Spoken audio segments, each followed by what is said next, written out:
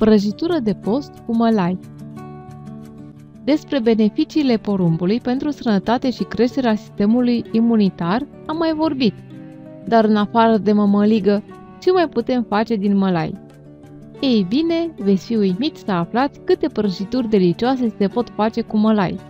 Iar pentru că acum suntem în post, azi vom face o delicioasă prăjitură cu mălai de post, fără drojdie sau bicarbonat.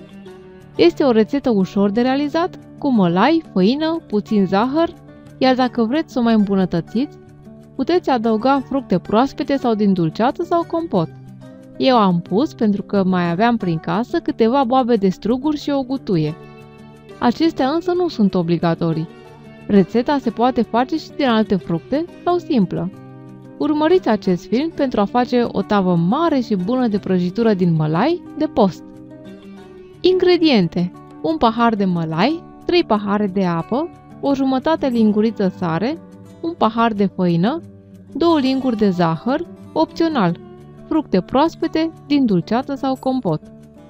Măsurând cu un pahar de 200 de grame, veți face o tavă de prăjitură la cuptor. Mod de preparare Cernem bine mălaiul cu sita de as. Într-un tuci, punem la fiert apa cu sare. Când apa fierbe, adăugăm mălaiul, amestecând continuu cu lingura de lemn, să nu facem cocoloașe. Mălaiul se fierbe la foc mic, aproximativ 30 de minute, sau până se îngroașă. Luăm tuciul de pe foc și răsturnăm mămăliga pe un tocător de lemn. Până se răcorește, cernem făina,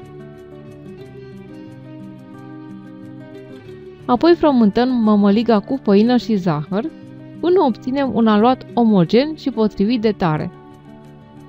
Se întinde aluatul și se face o foaie dreptunghiulară care se pune în tava tapetată cu hârtie de copt.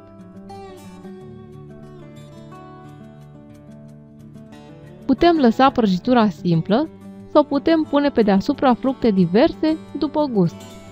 După răcire, o putem pudra cu zahăr farin pentru aspect.